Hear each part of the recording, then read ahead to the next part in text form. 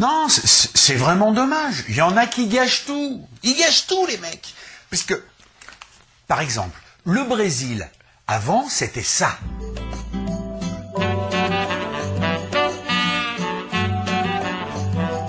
Bon, maintenant, c'est ça.